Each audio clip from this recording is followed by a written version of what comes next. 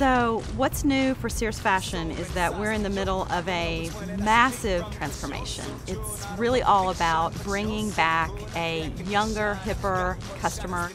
We're really thinking about the modern woman today and all the facets that she has. She is living a life like no other generation before her. This idea of having, you know, a, a wardrobe only for career and a wardrobe only for after work is really gone away.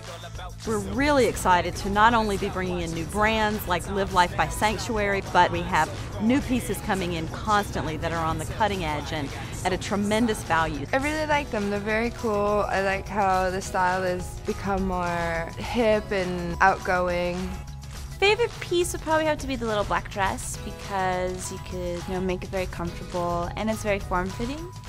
Every decision that we've made in this campaign really is about representing and connecting with the modern woman and her many sides.